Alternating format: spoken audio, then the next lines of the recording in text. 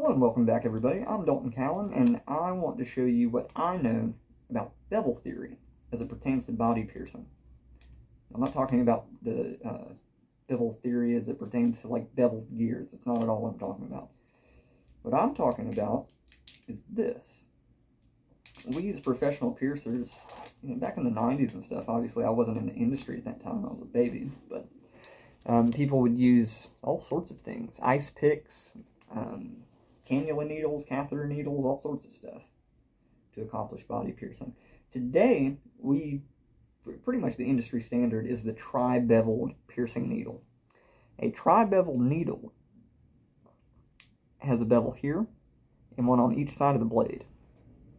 And uh, this isn't the best camera in the world, so apologies for that. But bevel theory, and, and by the way, you can uh, pay a bunch of money and go take a seminar from the Association of Professional Piercers that claims to represent us as an industry. Um, but anyway, uh, bevel theory, as I understand it, is this. If I'm wrong, somebody correct me, please. But uh,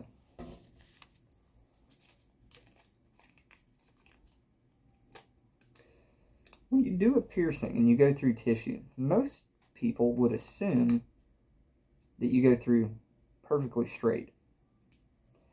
But the tendency of the piercing needle is to follow this bevel on the top.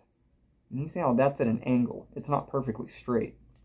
So really what you should be doing as a piercer is following the angle of this bevel. So when I go through tissue, the needle kind of looks like that as it's coming through. And I've noticed that this has made my piercing so much straighter, and it, I, it's so much easier to get a consistent result. Because the natural tendency of the needle is to follow that bevel, not to go perfectly straight, due to the forces of resistance on it as it passes through tissue. So if you go perfectly straight, then that needle always has a tendency to kind of go downward if that bevel is facing up it's going to go downward from the opposite side of wherever that bevel is.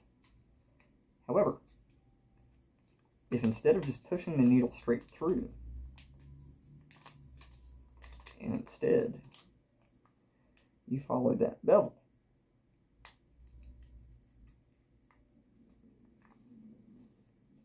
perfection.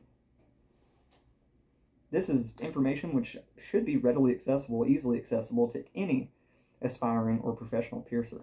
I pierced for almost four or five years with fairly inconsistent results. Until I learned that. Game changer.